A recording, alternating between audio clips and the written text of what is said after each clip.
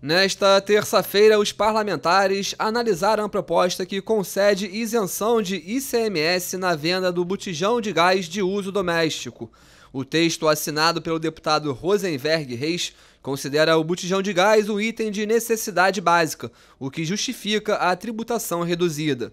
A matéria recebeu 17 emendas e retornou para análise das comissões. Reduzimos aqui o ICMS do arroz, do feijão e agora do gás de cozinha para cozinhar o feijão e o arroz.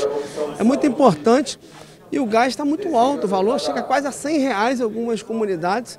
E é muito importante reduzir, chamar a atenção da ANP, chamar a atenção de outros órgãos, para reduzir também o custo do gás de cozinha. Recebeu seis emendas o projeto que autoriza a doação de 18 milhões de reais do Fundo de Recursos da Alerj para pesquisas da Universidade Federal Fluminense sobre Covid-19. Os recursos serão utilizados no Biotério Central, que vai servir como base de pesquisas experimentais para diversas instituições do Rio que desenvolvem estudos nas áreas da imunologia, sorologia e virologia.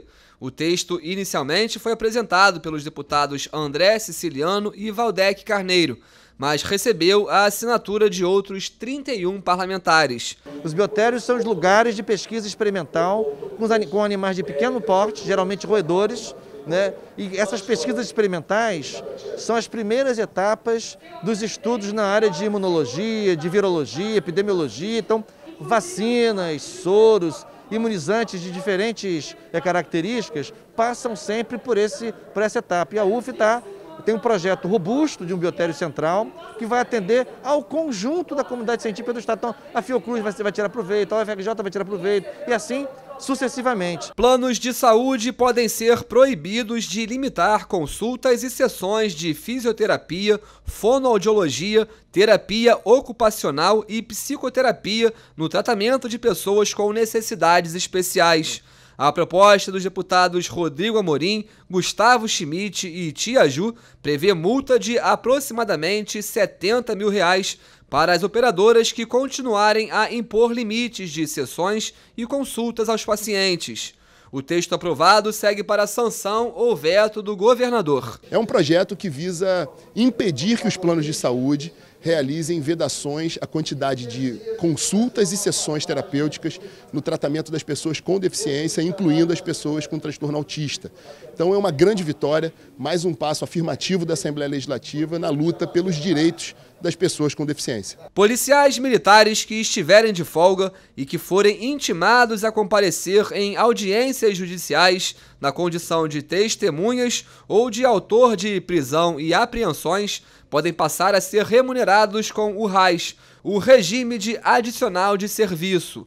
A proposta, assinada pelo deputado Felipe Pobel, foi aprovada e segue para análise do governador. É uma covardia, então visa minimizar né, nós pagarmos um RAIS de 8 horas para fazer jus. E pior de tudo, nós temos um agravante, porque muitas das vezes esse policial perde 6, 7, 8 horas dentro do fórum e a audiência é cancelada. Ele perde a sua folga, perde o bem-estar com a sua família, ainda tem audiência cancelada, sem direito a nada. Ele está a serviço do Estado. Então, nada mais justo do que ser remunerado quando estiver a serviço do Estado. Programa de serviço voluntário para agentes aposentados na área da segurança pública pode ser criado no Rio de Janeiro. A proposta, apresentada pelas deputadas Marta Rocha e Alana Passos, tem o objetivo de usar esses agentes para desempenharem funções técnico-administrativas o texto também prevê o pagamento de uma ajuda de custo, auxílio transporte, férias e abono natalino. A matéria aprovada em primeira discussão ainda precisa passar por mais uma votação em plenário.